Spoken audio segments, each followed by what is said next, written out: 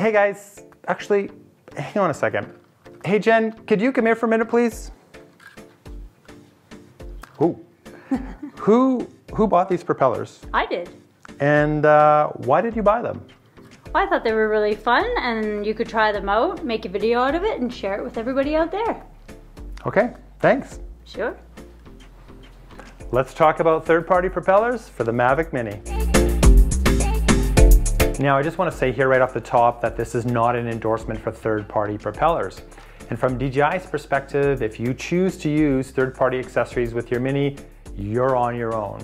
Any damage incurred by using these third-party accessories will not be covered under your warranty or DJI Care refresh.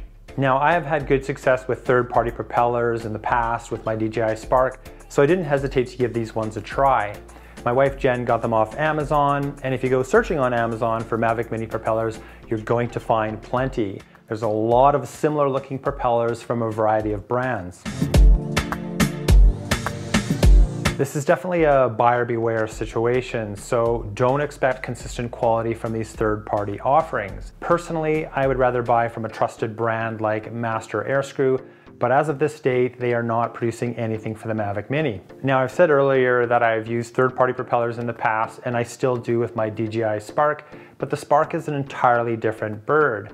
The Mini's propellers are so thin and light and fragile, they're just not the same as the Spark's propellers at all. The Mini can also be really finicky with faulty props, so you need to be careful here. And that is a good reminder to make sure you install your Mini's propellers correctly and inspect them often.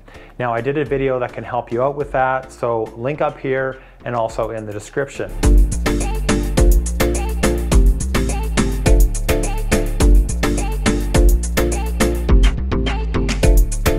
The general build quality of these props seems good. I do find that they feel a bit more stiff, perhaps even more brittle when compared to the DJI parts.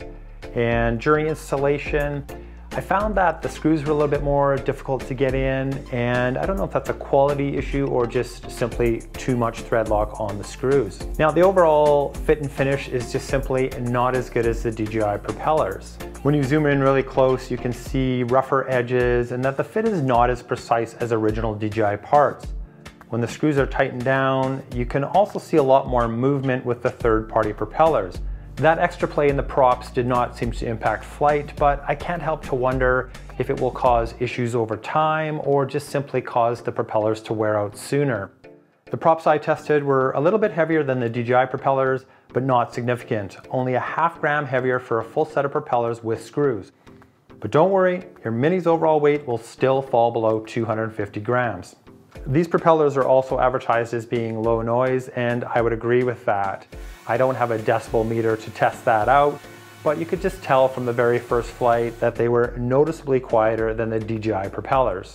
Now, a big part of my attraction to these propellers is the color. I think they look awesome, and it's just fun to have something other than black propellers on a light gray drone. The colorful props also give the Mini a bit more visibility in the air, but that quickly diminishes with distance, so honestly, the extra visibility is not really a big factor.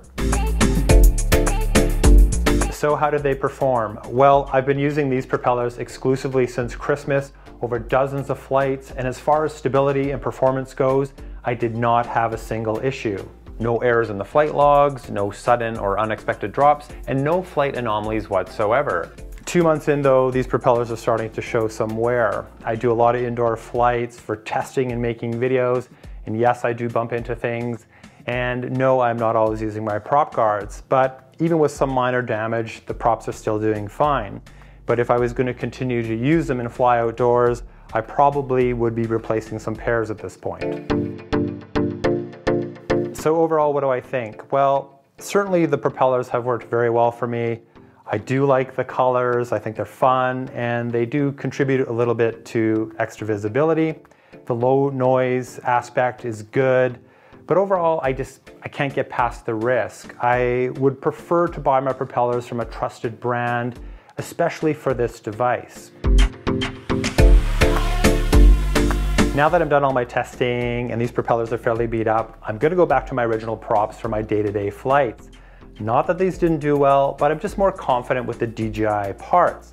But still, from time to time, I think I'm gonna put these on when my videos need a little bit more color. And the last thing I'm gonna say here is for DJI, if you're listening, how about some cool, colorful propeller options for the Mavic Mini? This is the mass market, everyday drone for everybody, so I think we could use a little bit more fun. And that's it for this one, guys. As always, thank you so much for watching. Hope you found this video useful, and yeah, I'll see you in the next one.